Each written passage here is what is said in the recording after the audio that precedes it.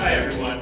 Uh, my name is Dan Kohn. I uh, live in New York City and uh, run the Cloud Native Computing Foundation. I'd like to uh, especially thank Nori and the events team here for really uh, just an extraordinary job on putting together uh, this. I've, I've actually been coming to Japan with the Linux Foundation for almost a decade on and off, and it's just amazing to see the growth and the level of interest. Um, so I wanted to uh, dive in and tell you a little bit about CNCF and uh, how it matters and, and, why it may affect you. And uh, CNCF is part of the Linux Foundation. We're just a little bit less than 18 months old. Uh, we have now have 10 projects in the foundation, of which Kubernetes is the best known. It was the anchor tenant um, originally, but we've now added in a number of new ones, including uh, the Container Network Interface, CNI, which just came on uh, last week. And uh, I want to give a shout out to our Platinum members that provide the majority of the funding, uh, especially Fujitsu, which was a, a founding member of the, uh, of the Cloud Native Foundation, and, uh, and NEC, which has also been very supportive. And uh, as you've seen from the last few days here, the Linux Foundation is much more than Linux. Uh, so later today, there's a talk from Let's Encrypt, which is providing free certificates to uh, the world's websites and creating uh, more than 50% of the pages on the web are now HTTPS. Uh, Arpit just spoke about ONAP. Uh, I talked about, I talking about CNCF. Uh, Dan Cauchi has the whole parallel sessions talking about automotive grade Linux. And then Brian yesterday uh, had a great conversation on blockchain. But these are actually, there's uh, several dozen more projects within the Linux Foundation, and this URL uh, brings you to them. Okay, and then I just want to give um, a very abbreviated version of the talk I gave yesterday about how cloud native fits in to the history of application development. If you go back to 2000 and uh, at that point, when you wanted to launch a new application, you needed to buy a physical server or often a rack of servers. And uh, that was very expensive. It led to a high stock price for Sun. But then in 2001, VMware uh, came out with uh, the technology to allow virtual machines that you can put an application in a VM and have multiple applications on a box. Then in 2006, Amazon Web Services popularized the idea of infrastructure as a service to allow, uh, rather than having to spend capex on a uh, on your hardware, you, it could become an operating expense that you rented by the hour. And in 2009, Heroku popularized the idea of a platform as a service and the magic of being able to type git push Heroku to have the new version of your application deployed. And what's interesting is all four of those steps were proprietary companies. The next four on our little brief history here are all open source offerings. So in uh, 2010, you had OpenStack, which uh, took the technologies from VMware and Amazon Web Services, made those available in an open source platform. Then uh, Cloud Foundry, uh, that uh, Abby spoke about two days ago is an open source platform as a service similar to Heroku. And then in 2013, Docker came along and popularized the concept of containers, that you can wrap your application in a container, making it much easier for that to move around. And then finally, the last stop in 2015 was the creation of CNCF, and uh, where we are started out hosting Kubernetes, and we define cloud native here as having three key parts. That you divide your application up into microservices, you package each part in its own container, and uh, you dynamically orchestrate those containers. And so let's just talk about why people are so excited about these changes. Uh, sorry, uh, this is a kind of a crazy chart where uh, it's 448 projects and companies in this space I will point out that uh, this is on GitHub in a high resolution version. And if your company or project is missing here, uh, please open an issue and we'll add it in the next version. But what we're trying to do here is build a map of cloud native and say that there is a destination that we're all trying to get to, but there's actually multiple paths that take you to that destination. And then the projects that are in green here, so Kubernetes, Rocket Containerd, CNI, CoreDNS, and others, are the ones that we're hosting at CNCF. We're not saying that these are the only way to be cloud native, but we are saying that we're working uh, and have uh, picked a very good group of technologies that we uh, are sure work well together and, and, and can meet uh, enterprises and startups' needs. Okay, so why are people making this journey? Uh, one of the biggest is to avoid vendor lock-in, that open source software um, enables deployment on any public, private, or hybrid cloud. And uh, you can download the software, you can use it yourself, and then there's multiple vendors that can support you, so you can switch from one to another if you want to. Uh, a really extraordinary level of scalability. Uh, Kubernetes is evolved from uh, Google's experiences with their container system Borg. That system uh, launches more than 2 billion containers per week. That's 3,300 per second on average, but of course, uh, at peak, it's much, much higher. And so the system is designed to support thousands of self-healing multi-tenant nodes. My uh, favorite example of this, uh, and the, what finally got my sons to take my job more seriously, was uh, that Pokemon Go runs on uh, Kubernetes, and I've, I've heard that it, it took up to 60,000 nodes at the, uh, at the peak demand. Um, Cloud native is about increasing agility and maintainability. So the idea that you split up your application, that uh, each of the parts are separately described uh, in, in uh, a way that your team can now scale much better. And uh, this is the concept of orchestration, that uh, you can improve efficiency and resource utilization uh, dynamic, by dynamically managing and scheduling these microservices. And that also allows you to uh, have a really extraordinary level of resiliency. So your individual container can fail, a machine, even an entire data center, and then as your demand goes up and down, you can adjust dynamically uh, to that.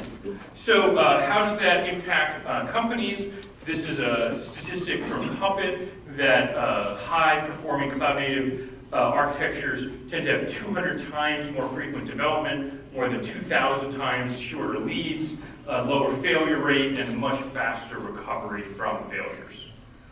So, uh, I think the takeaway from all this is to say that if you're building a new application from scratch, a greenfield application, the cloud native, the cloud native application architecture is the way to go. And in particular, I would say that the leading choice for cloud native orchestration is Kubernetes. It's been selected by a large number of companies. It's backed by this extraordinary group of members, including many here. And it's one of the highest uh, velocity development projects in the history of open source.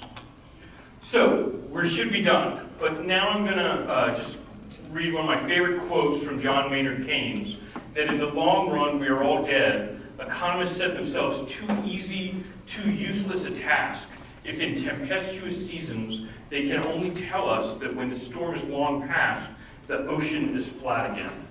And I just love that phrase, too easy, too useless a task.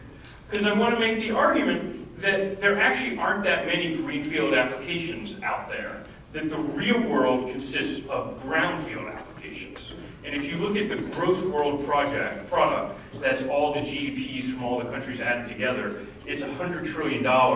Essentially, all of that flows through brownfield applications. And we use this term monolith to talk about a big, consolidated, often like a large Java or um, other kind of legacy application that's very hard to evolve. So uh, I'll just, quick question for the audience. How many folks have seen the movie 2001? Yeah, see, with the younger crowd, I, I, I, need to do more like a Star Wars reference or something. But it popularized this uh, concept of a monolith uh, that's uh, this big imposing shape. Um, and the idea is that nearly all production applications in use today are monoliths. And so they're, uh, they're really the, uh, the opposite of cloud native. And that brings the question, well, let's just rewrite it. There's this famous book uh, 50 years ago, The Mythical Man Month, that shows that that almost never works. It created the term uh, the second system syndrome. And it says that uh, many rewrites end in failure because the first system is evolving even as you're trying to replace it, and sometimes that first system evolves faster and you can never catch up. Okay, so monoliths are the antithesis of cloud native. They're inflexible, they're tightly coupled, they're brittle. So how can we evolve it? And step one is if you're in a hole, you want to stop digging. And so the idea is to try and stop adding significant new functionality to your existing monolith. And then there's this concept of lift and shift. And the idea is that whatever your legacy application is, you actually can containerize it. People think of containers as these very small, agile kinds of things, but you can take a, a Java application that requires 8 gigabytes of RAM, and you can wrap a container around it. Or another uh, fascinating example is Ticketmaster, where they are, uh, have code that still runs on a PDP-11, and they were able to get a PDP-11 emulator running inside of a Docker container in order to be able to containerize that uh, legacy application. Uh, with Kubernetes, there's a specific technology, stateful sets, what were formerly known as pet sets, that allow you to lock a container to one piece of hardware in order to make sure that it has adequate performance. Um, okay, and now, and this is really the key thought of the talk, you start chipping away at the monolith. And so uh, Ticketmaster, as I mentioned, has this challenge where essentially every time they put tickets on for sale, they're launching a distributed denial of service attack against themselves because so many people are coming in. And so uh, what they needed to do was have a set of front-end servers that could scale up and handle that demand. Rather than trying to write that in their legacy application, they put that new technology in a, uh, in a new piece. Now sometimes chipping isn't enough, you actually need a chainsaw to cut away some of the original functionality or uh, new pieces that you're going to write. For example, if you want to have OAuth functionality, maybe that's a Node.js application that you put in front of it. If you have a particularly performance-sensitive task, maybe you write that in Go. And you're still having uh, API calls back to your existing legacy monolith, but the new functionality can be written in more modern languages by different teams that can work with their own set of libraries and dependencies, and it starts splitting up all of that, that, that monolith. Uh, KeyBank in North Carolina had very good success putting Node.js application servers in front of their legacy Java application in order to be able to handle mobile clients. Now, uh, a key thought is that the highest value today from cloud native is with stateless services. So uh, application front-end servers where you need resiliency, load balancing, uh, auto-scaling. An interesting example here is Wikipedia, where uh, they are taking their MediaWiki PHP application servers and putting those into Kubernetes, but their data store, which is a massive MySQL database, is remaining on a bare metal server uh, because they don't have a good enough story today to justify moving into uh, to cloud native. And uh, the idea is that when you are eventually ready to transition your data stores, uh, it's still challenging today to use legacy systems like Postgres or Redis. There are some interesting cloud native database solutions uh, like CockroachDB and uh, Vitess, which came out of YouTube. Uh, there's also uh, if you're in the public cloud, a number of hosted data services like Amazon RDS and, and uh, Google Spanner and others. And, but the idea is that this really should be the last thing that you're transitioning to a, a cloud native architecture.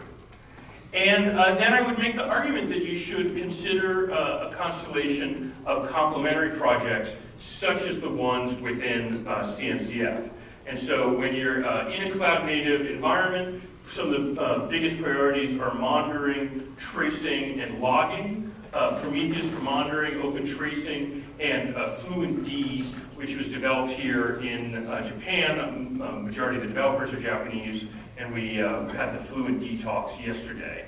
Then I'll just mention a few others. Linkerd is a service mesh to support more complicated versions of routing. gRPC is an extremely high performance uh, API system that can replace JSON REST. Uh, Core DNS is a service discovery uh, platform. Containerd and Rocket are uh, both container runtimes that were recently added. Containerd is the upstream runtime that's used in Docker. And then finally, uh, the Container Network Interface, CNI, is an uh, architecture for network plugins to support more complicated architectures. And so eventually, uh, when you've chipped away enough, you can evolve your monolith into a, a beautiful microservice. Now, uh, Grover Norquist in uh, the United States, who's always trying to lower taxes, has a phrase that he wants to get government small enough that he can drown it in a bathtub. Uh, maybe your goal is to eventually kill off your monolith. More realistically, it's going to stay around forever, but uh, hopefully you can evolve pieces of it off and even have a beautiful collection of uh, different microservices that are all connecting together and being uh, orchestrated in a single system. And so uh, when you think of Kubernetes and uh, the kinds of architectures that it can work with, I really want to emphasize this concept. Uh, there's a term, the soft bigotry of low expectations, that you shouldn't just think, oh, I need to do a greenfield rewrite in order to get the benefits of cloud native. Uh, the big message here for, is that Kubernetes loves brownfield applications and that there is an evolution path that almost every enterprise and, uh, and company out there should be on. So um, uh, if you download this presentation later or take a picture of this, these are some detailed articles on um, a few of the uh, companies that I mentioned, and there's a lot more case studies on Kubernetes.io that actually talk about uh, these similar themes. And um, finally, I wanted to uh, invite everyone to the big event that we're going to be having in Austin. This is actually going to be one of the largest events that the Linux Foundation has